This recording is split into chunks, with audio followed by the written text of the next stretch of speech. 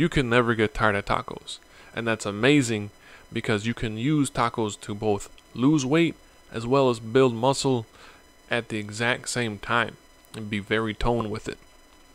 Now, how does this happen? Well, it happens because you can have basically any type of meat in your taco, and that's going to change the flavor and change the seasonings that go along with it every single time. Now, how we're going to lose weight and build muscle at the same time with these tacos is a little bit different story. Now, protein itself is in every type of meat, and that's the that's the magic trick right there is the protein. Protein will build your muscles after a workout as well as keeping you feeling more full so we can keep your calories down and not eat as much throughout the day. Now, when it comes to the different types of meats that we can have in our tacos, I'm going to cover three different ones. There's ground beef, chicken, and a fish, which is I'm going to use as tilapia. First meat I'm going to cover is ground beef. Now, for every ounce of ground beef, you're going to have four grams of protein. Now, any type of drawbacks that would come from ground beef would pretty much be the fact that if you have too much of it over a long period of time, it's going to raise your cholesterol level, and we all know what happens after that. But it's amazing to have because it tastes great. You get your protein from it, and it's pretty much in every taco you can find anywhere. Now, the next meat I'm going to cover is chicken. Now, for every ounce of chicken, you can have 8 grams of protein. And when it comes to any type of drawbacks, it's kind of hard to see because it's good for your cholesterol and keeping that safe and healthy.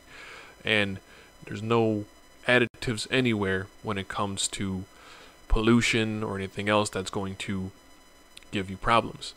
Now, the only drawback I think, really, when it comes down to it right now, is a temporary one because chicken's expensive at the moment. Now, that's a temporary problem. We'll get over it. Now, last but certainly not least, one of my favorites is fish tacos, in this case, tilapia. Now, for every ounce of tilapia, you're going to get 7 grams of protein. The only drawback from this, though, is fish in general is going to have high levels of mercury content. So, recommended in the United States is that you only have it once or twice a week. Anything more than that, you can start having eczema, and then that'll eventually lead to cancer because of the high mercury content. However, there's a workaround. If you don't mind having tuna, you can go get the Sunkist brand of canned tuna, and that is so low in mercury content that that it's basically non-existent. The FDA has like a certain threshold for how much mercury can be in a fish that's going to be sold to be eaten. And obviously we have that problem where you can only have it once or twice a week otherwise you'll have pr- health problems. Sunkist is actually so far below that that it's basically non-existent where you will never have those problems. So, there you go. Sunkist might be the type of taco that you want if you live in the United States.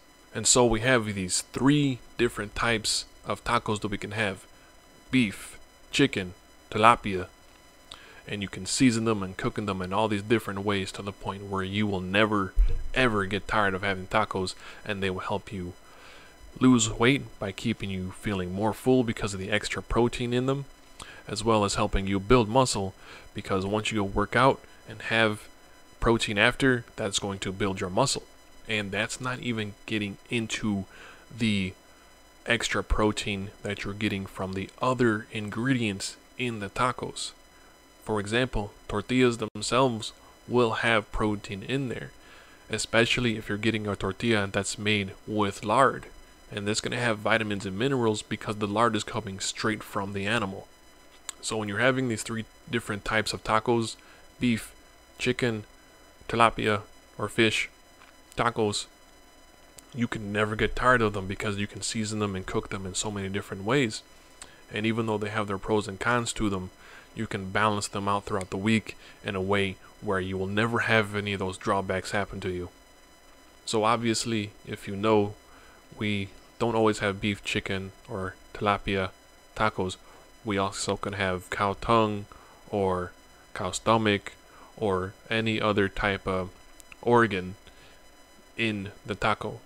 So if you want me to cover one of those, or if you have one that you have in mind already, you can leave a comment and the most popular one or two or three, I will make a video about that and do it the same way here where you can break down the protein how it's going to help you build muscle how it's going to affect your health and how much benefits you can get from tacos and how you can just live off of tacos your whole life. So hope you guys enjoyed this video. I'll see you later. Adios